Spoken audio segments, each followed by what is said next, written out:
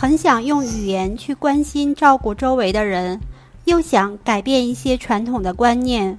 工作中虽然会主动维持一些对等的合作关系，但好像又很想凸显你的个性，所以今天在各个方面都会觉得受到限制。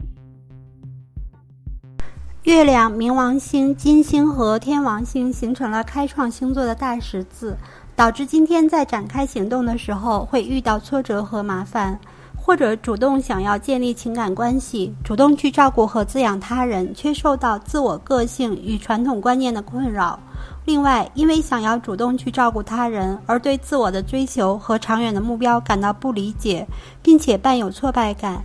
今天可以主动去关怀一些社会弱势群体，展现一下自己的爱心。